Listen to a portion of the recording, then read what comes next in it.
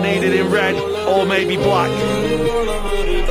Make yourself a story. It's Alexander. Oh, it's Allison!